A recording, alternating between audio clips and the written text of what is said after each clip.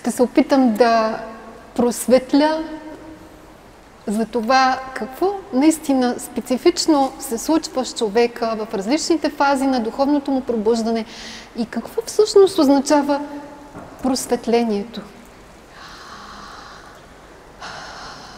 Георги току-що ви показа какво е светийството. Георги има съзнание на светия. Това наистина е така. При него, разбира се, процеса не е напълно завършил на светийството, но това е човек със съзнание на светия. И с този поклон той отново го показа и това просто невероятно много ме, не знам, каква любов пак премина, какво беше. Друг един пример ми дадоха за различните градации, но това ще говоря след малко, а, за различните степени с един много хубав пример. Как всъщност действа светията, как действа просветения, пробудения, просветления и така нататък. Просветлението е а, едно нещо, което когато човек израсне до него, то го променя наистина до дъно. И този човек вече не е същия човек. Не са много хората в историята на Земята, да говорим за историята на бялата раса, които са стигнали до това ниво. Може, са, може би са, аз ги бях гледала, около хиляда човека, хиляда и няколко човека са стигнали до тая степен. Като то се случва по различни начини. При Христос, ако се спомняте, той прекарва точно 42 дни в пустинята. И това е а, етапът в неговото а, развитие, защото дори най-великата душа, най-великият дух, когато дойде на земята, той също минава през някаква еволюция, някакво развитие и минава стъпките. Между другото, него го връща дори много по-назад от един обикновен човек. Той, не случайно казва, той, а, той работи с бездната, той пречиства бездната, той слиза до ада, т.е. този дух а, а, нали, минава през едно наистина много голямо страдание а, и минава през стъпки, които обикновеният човек няма как да мине през тях. Той просто няма тая сила. И така при него в течение на 42 дни, докато той е в пустинята, върви този процес, тези 6, месец, 6 седмици. При някои хора, понеже съм се опит, опитах се да видя някъде някой описал ли аджиба какво всъщност се случва по време на просветлението. Да кажем, Ошо говори за това как изведнъж една светлина и една невероятна енергия, която преминава през него. А, нали, това е, аз го наричам внезапно, или едно много силно, едно те, те обикновено, то не завършва там обаче, то започва там обаче чрез един много силен импулс, който преминава, една много силна енергия, която преминава през този човек.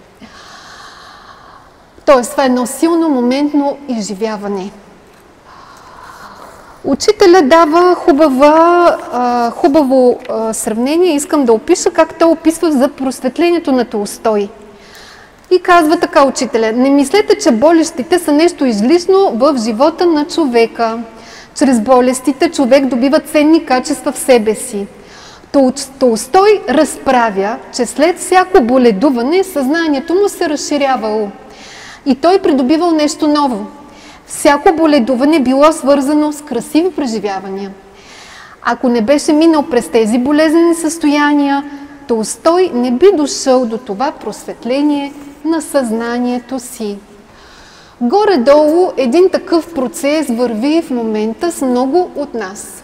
Реално с всички аватари, а, нали ще говоря а, за това доста подробно, върви един такъв постепенен процес. Да кажем, при Георги е бил, а, както при Ошо, а, един много силен процес, буквално на първия импулс. След това, разбира се, в течение на години, по, по време на учелничеството му, светлината го е пълнила и пълнила и пълнила.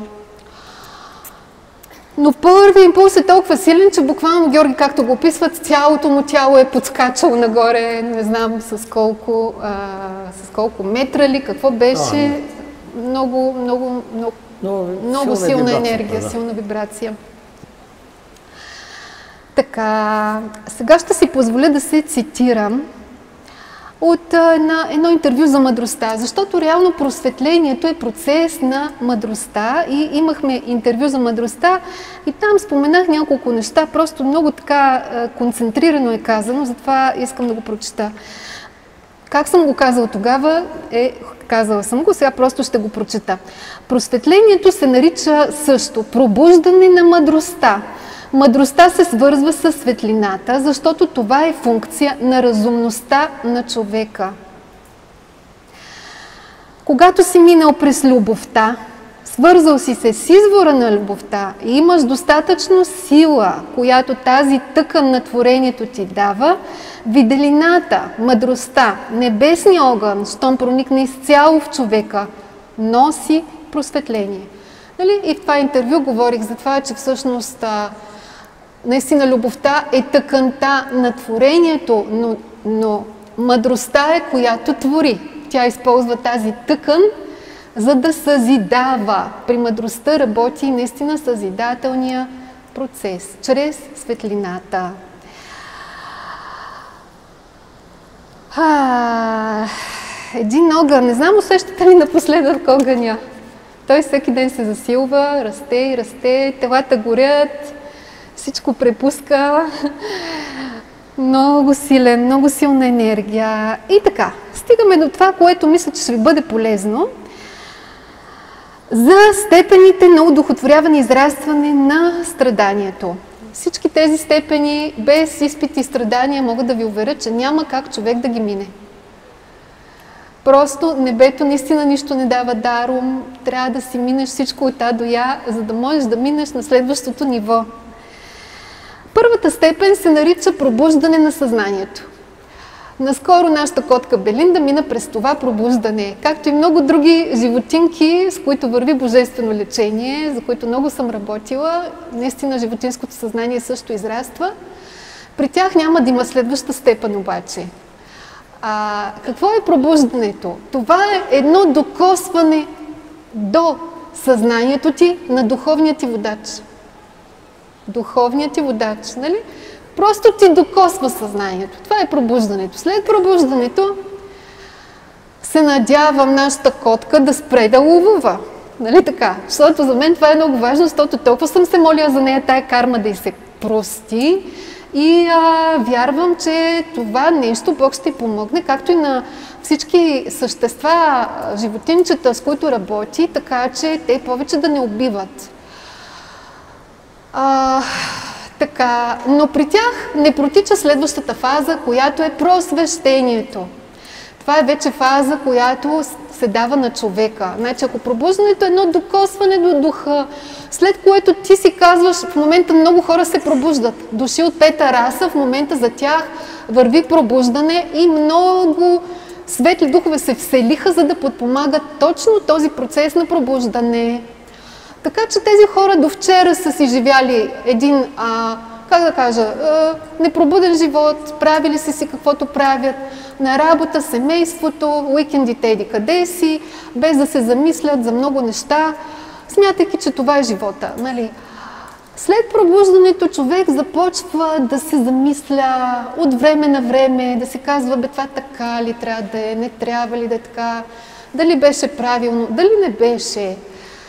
Когато мина тая фаза, започва а, просвещението. Тоест, какво, какво на практика представлява? Всичко това е работа със съзнанието. Духът преди всичко работи със съзнанието на съществата. А, разбира се, при светиите този процес върви във всичките части на организма им. Нали? Накрая ще говоря за това. Но при повечето хора върви в съзнанието за тия етапи, за които говоря.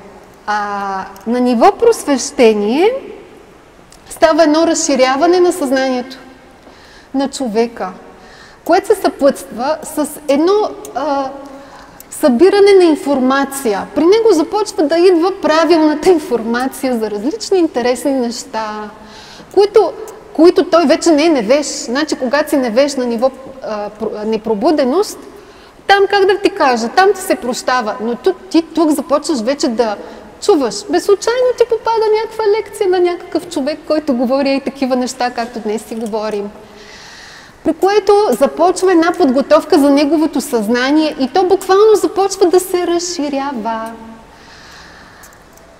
Съзнанието, между другото, съзнанието, духа и душата, аз съм говорила за това, това са трите най-важни структури и въобще как да ги нарека, това, което всъщност е човека, като най-важно тях от съзнанието. Затова Божието Слово е толкова важно, защото реално то променя съзнанието. Там са семенцата, където нали, всъщност промени ли се съзнанието, той човек започва, ако има физически неща, да се подобряват болести, да се лекуват, ако има други неудачи в живота, почват да му се разрешават и така нататък. Всичко започва от там. И така, когато това съзнание почне да расте, човека получава все повече информация, чува, има някакви завети, има, говорят хората за някакви неща, аз до сега така съм живял, пък ето, то не било май правилно. Значи информацията почва да стига до него. Следващата степен а, се нарича а, посветеност. Кой е посветения човек? Реално, а, човек може да има няколко посвещения. Първо, това е важно да кажа. Първото посвещение на човека го прави духът, от който той е част. Примерно, ако аз съм дух на архангел, този архангел идва, идва, сега дали идва, не знам, може би не идва, Нали, те работят с човека, някои дори не идват в материалната вселена. Най-висшите духове, те си работят от Божествения свят, но чрез тяхната мисъл те се докосват до човека. И в случая този архангел, да кажем, ако аз съм такава душа, съм част от този дух, съм като една малка сондичка, която е дошла тук на земята, докато това, което наричаме монада или този голям дух, той е горе, в божествен или в ангелския свят, зависи нали, от каква иерархия съм аз. И а, ако първи път той само е докоснал, т.е. той е спратил една финна енергия, която лекичко само е докоснала съзнанието ми, на ниво посветеност той вкарва вече в сърцето. Съзнанието, духът и душата са техните праатоми, се намират в сърцето на човека. Затова Исус казва, сине мой, дай ми сърцето си. Нали? Това са ни много дълги, много... това са години, нали? В смисъл, това не е един такъв процес, да кажеш, хоп, станах, дойде, падна ябълката или не знам какво стана. А, нали, за да стигнеш до това ниво, трябва доста да си, да си съществува доста висока еволюция. А, иначе си един доста дълъг път. Така. А, та на това ниво посветеност, духът вкарва енергия, съзнанието може в други структури на организма, може да е в духа, и в душата, и в телата. Той вкарва тъканта на съзиданието, това, което казах, това е любовта. Той вкарва енергия от сърцето си. Излучва енергия от сърцето си, може да е като мисъл, но наистина идва от сърцето му. И това е посвещението. Сега, зависи човека вече колко е, как да кажа, какви са били делата му до, до, до този момент а, и каква му е кармата и въобще цялостно, целият с него път, той може да има няколко посвещения. Да кажем, първия е водачът ти, лично, нали, това, от което ти си част. Той вкарва енергия в теб. Нали. А, след това, обикновено е дух от по-висока иерархия. Колкото по-виж дух ти прави посвещение, толкова дарбите ти растат, защото ти носиш вече една, то още не е искра, то е, как да кажа, една, а, Георги от някъде говори, една частица от а, едно велико същество, нали? То работи чрез теб на земята. Така, като на тази фаза посветеност а, продължава и разширяването на съзнанието. Следващата фаза се нарича праведност. Тая фаза минахме преди няколко дни. И аз съм безкрайно щастлива наистина, че я преминахме, защото на това ниво на човека се занулява кармата. Каквито тъмнини е носил в него, те вече са пречистени, всичко му е опростено и този човек вече можем да го наречем праведен човек. Нали, да кажем за душите от ангелските иерархии, целият път свършва до тук нали, те нататък не продължават обикновенно. Нали, просто още не са доразнали за следващите степени. съществата от ангелските иерархии, нали, пътя свършва до праведност, което е нещо само по себе си изключително. Защото наистина хората, работил съм с Филина, има много тежки неща. И тая карма, тя си се изявява в живота. Даваме ли си, не си ли даваме сметка. Това е един огромен шанс за тая душа,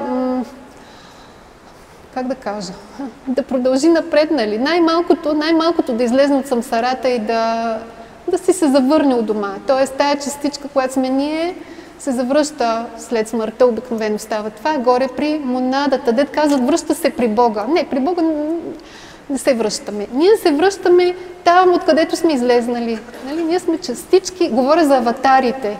Човешките души нямат водач горе. Просто те още не са си изработили тия неща. А, така. Та това е праведност. Понеже това завърши наскоро, ми се иска малко да ви разкажа за процесите, които следваха след тая фаза. Не знам дали вие нещо усетихте последната една седмица, но наистина се чувства една лекота. И може би при много от вас много неща, които преди не са вървяли, са почнали да, така, да се подобряват. Не знам дали все още това се е изявило. Но а, фазата, за която работехме и до днес, е свободата. Защото едно да ти дадат праведност, да се пречисти цялата тъмнина от човека. Но човек, привличайки чрез греховете си тъмнина, той, той си прави едни вериги. И свалянето на тия вериги ги правят вече духовете на истината. Заради това учителя казва, истината ще ви направи свободни. Но духовете на истината са, как да ви кажа, малко като последна инстанция. Минал си през какви ли не неща и накрая те свалят веригите, т.е. неща, в които не са ти вървяли, ограничен ти е там пътя. А, буквално аз съм ги виждала. Нали, това са си енергийни нишки, някои изглеждат, други буквално изглеждат като окови, вериги, т.е. неща, които ограничават човека поради кармата му. Когато и това падне, се случва вече ново раждането и това е следващата много, много важна фаза, която започна преди 4 дена. С едни торти, които ни донесаха, се шагувах с една жена, че тя пита, кога ви е рождения ден с Георги? Ние с него имаме не най-съща дата рожден ден. И аз някакси съзнанието ми изключва и казвам ми другата седмица. А, казвам това пък защо го казах. Аз знам, че нали, ние сме родени на, през май месец. А тя казва, как така, другия, нали, как така другата седмица? Вие не бяхте ли през май месец? Казвам това, щом го казах, има значение. Викам, бе я да видя кога е новораждането, защото го очаквах това нещо. И се оказа, че наистина на този ден е нещото, което тя каза, аз ще ви донеса торта. И така се появиха и тия торти специални. Какво е новораждането? Духът или множеството нали, светли духове, които са направили посвещението на човека и преди това са работили на предишните фази за пробуждане, за просветление, за посвет, посвещение, защото те те водят. Ти си мислиш, че случайно е така, изведнъж ти попадна тази информация в интернет. Няма такова нещо, няма случайно. Просто някак си невероятно е наредено, съвършено е наредено, така че до човека, който е достигнал до съответното нещо, то да дойде до него. Та на нивото новораждане духът пали искричка. Буквално е като една малка искричка в съзнанието. Ако са множество новораждания, т.е. множество духове работят нали, при теб, това са множество малки искрички, които започват да искрят в, а, в сърцето ти или в съзнанието ти. И тази искричка, когато започне да расте, това е вече процесът на просветление, което за мен с всички конници започва днес. А, като казвам всички конници, това са нали, най-висшите духове от Христово съзнание, от средната му част. Христово съзнание се разделя на три части. Предверие или най-външна част, средна част, което е елохимния свят, и ядро, където са зелохимите, които са апостолите на Христа и самия Той. Нали, най-висшите духове от средната част, един от великите елохими, който води процеса и всички останали нали, от това ниво са конниците. И с тези хора започва всъщност един процес на мъдростта. Тази искричка, която вече е запалена с новораждането, започва да расте и да става все по-голяма звездичка и все по-голямо слънце. При светията има множество такива слънца, които се се сляли в едно. Цялото му съзнание става светлина. Така, съвършенството е следващата фаза. Те са общо 8, при която проверявах. Там все още нямам опит, не мога да кажа, нали, но а, 88% от не само съзнанието, от цялото същество на този човек е вече светлина. Той е пропит от мъдростта. И при светилството тези проценти стават 100%.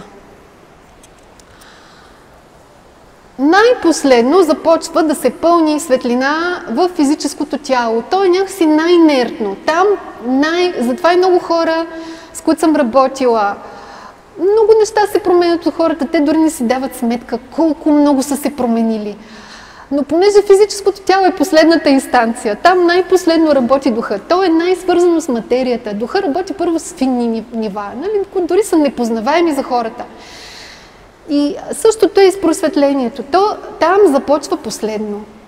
Като си има също степени. Първо се пълнят със светлина обикновените клетки, дето Георги ги нарича редници. Редниците, първо те се изпълват и най-последни се изпълват генералите. Генерали от човека, можем да, да кажем, че това са най-първите клетки, които са излезнали от човека. Нали, от там, дето казвам, клетката се дели, след оположеното и така нататък. Тези най-първи клетки остават къде? Остават в сърцето, в ума и във всички жлези с вътрешна секреция. Там се намират генералите. Когато и генералите започнат да се пълнят със светлина, е тук вече можем да говорим наистина за светийство. Сега ще ви покажа, понеже аз а, така, нали, до мен е един невероятен пример, който е нали, един огромен шанс да, как да кажа, то не е само шанс, ами е една огромна сила, която ме тегли нагоре. И просто няма как да не вървиш нагоре, въпреки че понякога е доста трудно, трябва да ви кажа. И си е свързано с доста изпитания. А, съм наблюдавала Георги как а, как, примерно, го каца комар или оса и той седи и го гледа и казва, да, моето момче, напи си се, хъпни си, да ти е сладко, нали? Хъпни си спокойно. И ми го дадаха точно това като пример, защото вече се пораждаха от мен въпросите за тия степени, които сега ви ги разказвам. Каква е разликата, нали? Какво е характерното? И ми го показаха чрез един такъв пример. Излизам аз навън да поливам цветята. В, знаете, ние живеем на село и да кацат комарчета. Това беше точно след като мина нивото праведност. Т.е. няма кърмична причина, която да ме кара, нали, аз да искам да убия комара. Обаче, просто бях изненадана и шокирана от себе си, защото по принцип на мен това ми е карма. Да ви кажа, моята карма в прераждането назад е свързана с убийство на комари, на, на, живот, на такива насекоми. И съм имала и някакъв страх от тия същества и този страх последните така не знам дали последно време преодолявахте страхове, дали отново ви поставях в ситуации, от които вие сте се страхувал, сте се страхували. При мен се получи нещо такова сега този период, с комари, с оси и така нататък. И аз посегнах да го убия. Не го убих. Обаче си казвам, вау. И ми казват така. Пробудения изобщо няма да се замисли. Перка комара и не му дреме. Това е положението. Той е комар, кръвопиец, заслужава, той си заслужава това. Той не е същество, което да се заслужава, нали, защото прави лоши неща на човека. Пос, а, така, пробудения. Просветения, дето малко е чел, някъде е чел, че има карма, има нещо, си казва, чакай сега, аз, да, е, май не беше много добре, има нищо да е голяма работа. Така. а, посветения как ми го казаха точно. почва да има огризение общо взето. Си казва, е, защо губих този комар, защо постъпих така, не беше добре, както и аз, нали, на ниво правено, съм праведен, пък за малко да му вида сметката. А, и така нататък, до светията, това, което казах. Просто го оставя, гледа си го и изобщо, нали, а, си казвам, гледай какво нещо. Георги наистина е съзнание на светия. Така.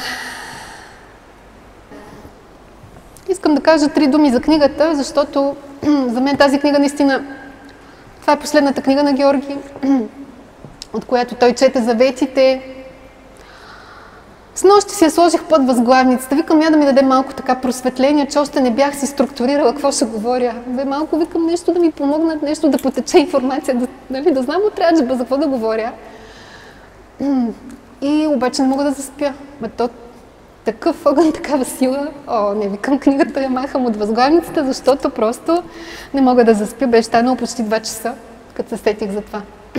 И така, наистина, тая книга за мен символизира божественото просветление и символите, които просто искам да обърна внимание върху символите.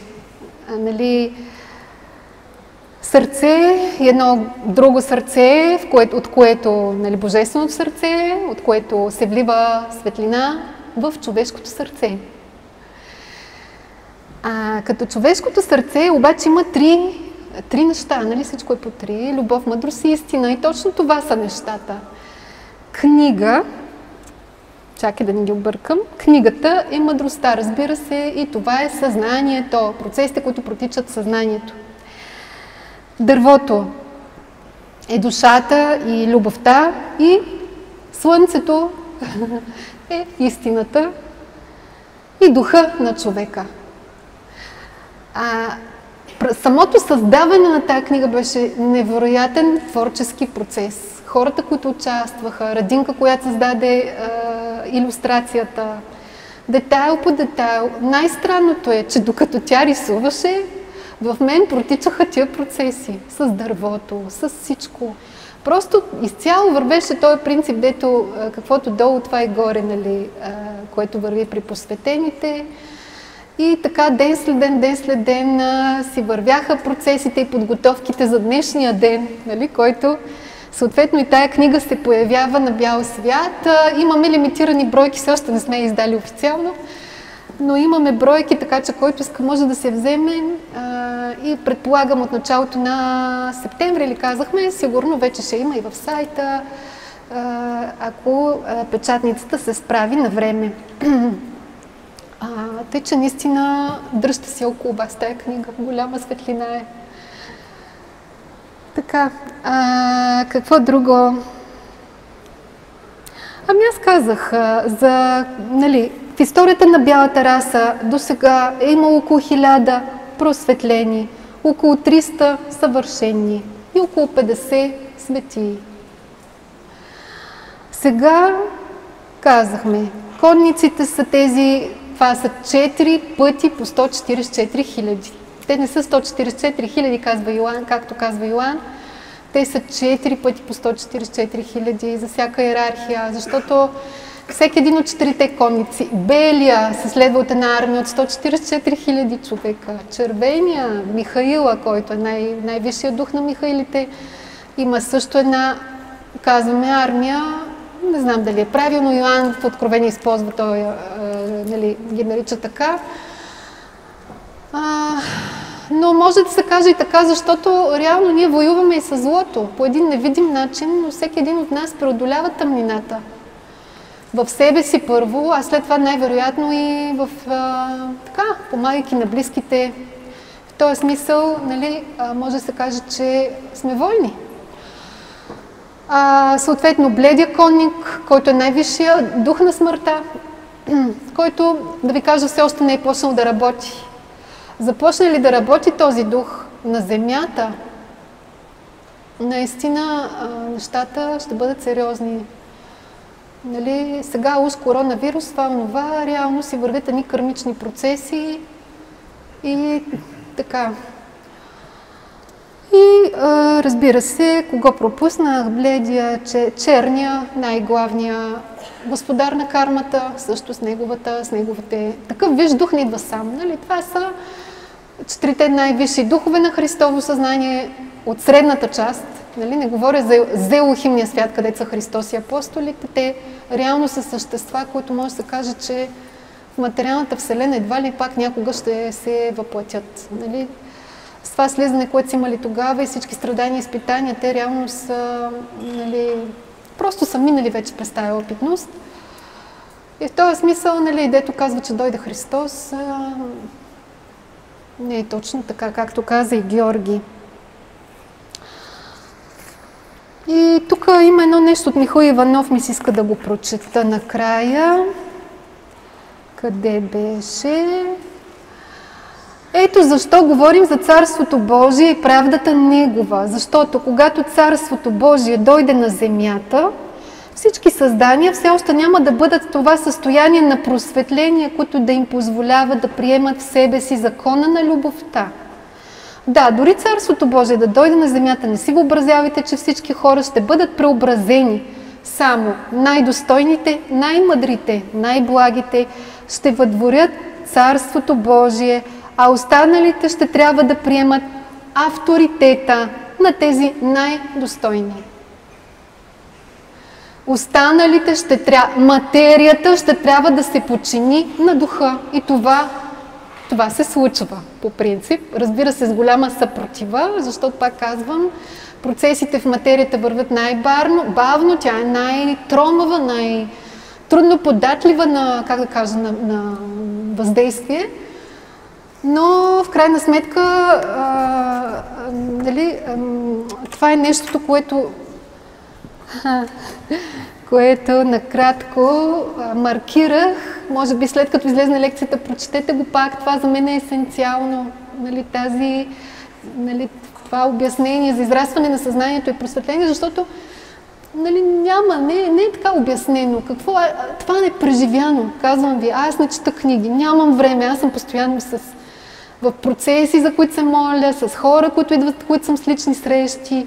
Дори ми е забранено да чета книги. Както и с нощи. Да казвам, Господи, да прочета от някъде, утре имам лекция, нещо, нали, някаква информация, така като опорна точка за нещо.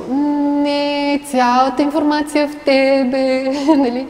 И аз съм убедена, че опита на човека е, е мъдростта, нали? Това проверено знание. Защото много неща така си ги знаем, чули сме тук тама. Обаче, когато премине като твоя опитност, ти вече по друг начин. Ти си, първо ти си преобразен човек. Ти, ти, ти, ти не си абсолютно нямаш вече нищо общо с това, което е било. И така, с божественото просветление, това разбира се ще бъдат месеци най-вероятно, който ще върви този процес, но така или иначе днес е началото и е много изключително това нещо, че се случва с а, така, хората, които са най-заслужили за това на Земята. Ами, за мен някак си беше важно да не е твърде дълга лекцията, за да има време за въпроси и отговори, което след последната среща в Пловдив се уверихме, че това е, може би, най-ценното от срещата ни. Нали, а, за целта ще има един микрофон за хората, които имат въпрос. Ще трябва да дойдат нали, до микрофона, за да го зададат, за да го чуем всички. Който иска, взима микрофона. И така, но моето въпрос. послание за финал е не позволявайте материята да ви води. Духът, както казва Георги, командва материята. Не позволявайте хора, които знаят по-малко от вас, които са преживели по-малко от вас, те да определят битието ви. Отдавна, нали, с една приятелка, така сме си говорили, казвам, ние трябва да сме излъчватели. Не до сега, както се пречистваме разни неща и страдахме от какви ли не нали, чужди негативи, които се преработваха. Просто дойде време вече ние да излъчваме, разбирате ли? И това излъчване на всеки един от нас. Йоан го описва много интересно. Казва и от а, устата на избраните излизаше един огън. Огън. Това е словото, нали? Всеки един там, където говори, разказва, обяснява, може да си говорите за най- най-тривиални обикновени неща. Обаче духът се е семенца чрез вас Духът е великия сеяч. Тъй. Ами това, някой ако има който да се престращи за въпрос,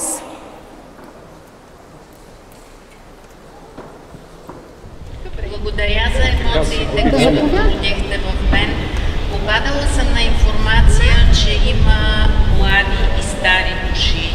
Ако това е истината, бихте ли споделили каква е разликата между тях? да. Благодаря. Да, много хора си мислят, че с това колко прераждания си имал, това определя възрастта на душата ти. Не броя на преражданията. Аз ги наричам кармичен цикъл. В този кармичен цикъл съм срещала души, примерно във второ прераждане. Обаче той е дух на престол, да кажем. Той е част от дух на престол.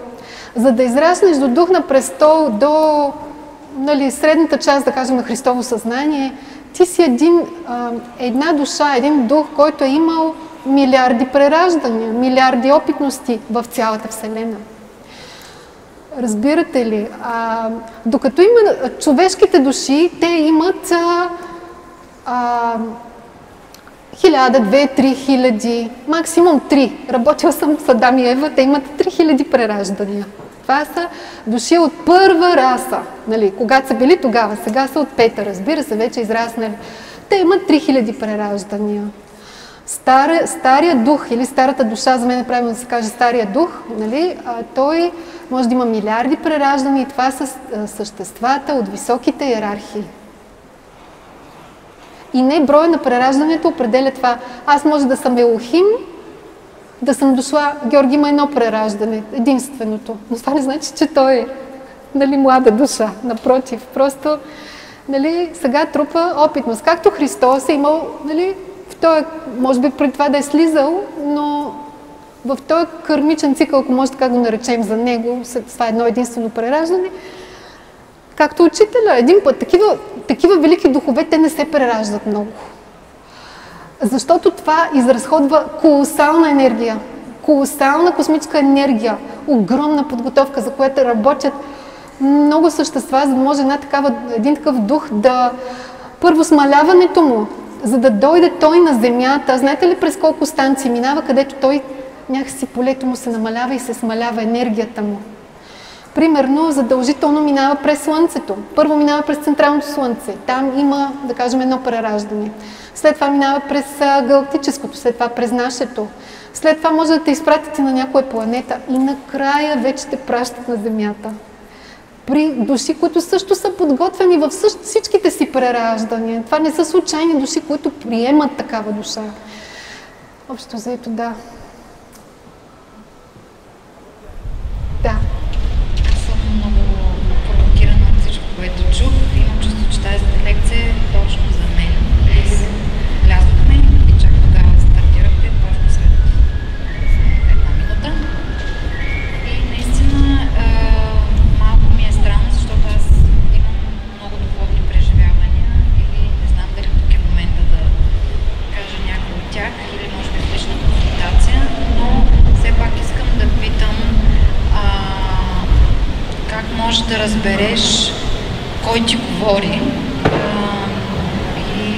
това, което ти казва е от добрите сили или от светлите сили или от тъмните сили, защото при мен явно върви някакъв такъв процес на трансформация, за който вие споделихте преди малко, съм на някакво ниво.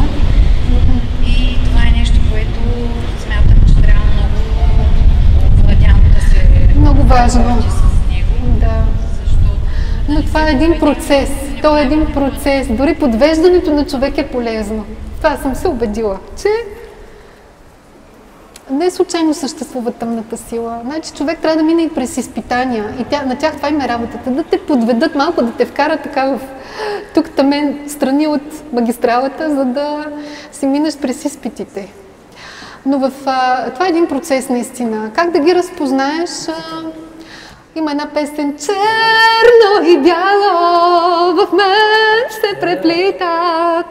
И така, наистина е така с човека и това е голямото богатство на Земята, че ние се срещаме и с едното и с другото, защото горе е само светлото. А тук душата минава и през тъмното и тук е голямата и опитност. Но в един момент, когато израсне, тя почва да ги различава. Първо от посоката. Тъмната сила говори някакси странично. Когато говори Бог е една вълничка, която като мисъл идва отгоре.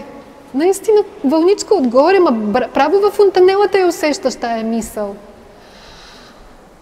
Другото е, че при много хора, които са лъжепророците, тъмнината се представя за светла сила. И той казва, на мен ми говори отец. Няма такова нещо. Отец на Георги не говори. Няма. Нали? Отца, за да се направиш връзка с отца, трябва да си Христос. Аз не познавам друг Христос, освен този, който е бил. Нали? И това са лъжепророците. Там са големите изпитания за егото на тия хора, които нали, всъщност те дори нямат дарби. Техните дарби са, върху тях е проектиран тъмен дух, който говори. И реално тия дарби не са дарбите на човека, са дарбите на тая тъмна сила. И когато твърде много човек почне така да... За мен най-важното е смирението. Каквото и да ти говорят, ма ти си... По едно време на мен ми казваха, че съм нали, велики неща. за да те изпитат смирението. Това е голям изпит. Какво, например? Например, че съм Мария Магдалина, такива неща. Да. Възможно ли е да ми казваш, че съм ангел и че ангели са се вселили в мен? Това е напълно реално. Ти си свет, част от светъл дух, нали?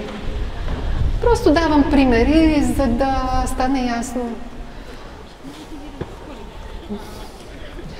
Отключиха се много Смирението. Просто смирението е ключът, за да преминеш през тъмнината и тя да не може да те достигне.